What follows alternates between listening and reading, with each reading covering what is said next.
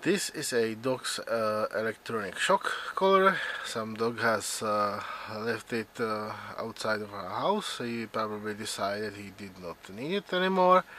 It uh, sat uh, on a visible place for a few weeks uh, and no one came to pick it up, so I got it for tear down.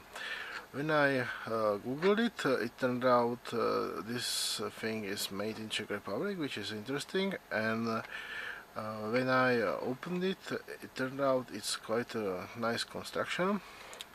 It's a sturdy case with uh, uh with a rubber uh, rubber seal around it with uh, metal ferrite inserts. Nice and robust construction.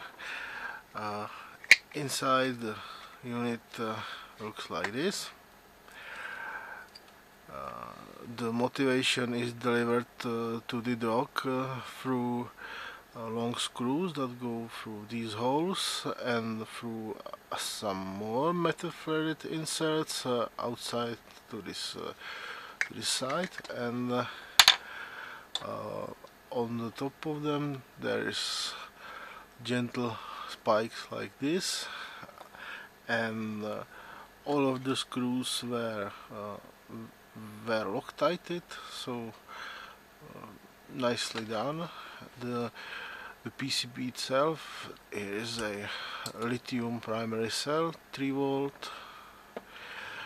Uh, on the top side there is the transformer to make a higher voltage. In here is a buzzer so the uh, you can uh, only buzz the dog and not give him a shock uh, like a first warning.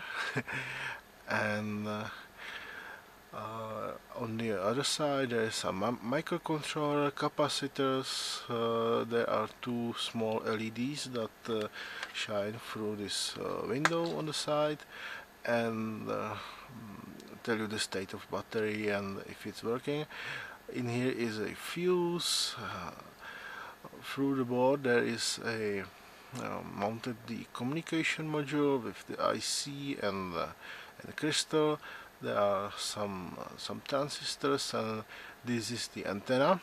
It's interesting how the signal how the signal goes through to the center of this board and it then uh, snakes around doing some uh, RF some RF voodoo here and uh, it appears to be conformally coated uh, so very nice nice construction and, well made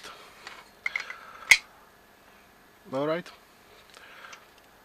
this is a D-control docks DOGtrace uh, electronic, electronic shock car.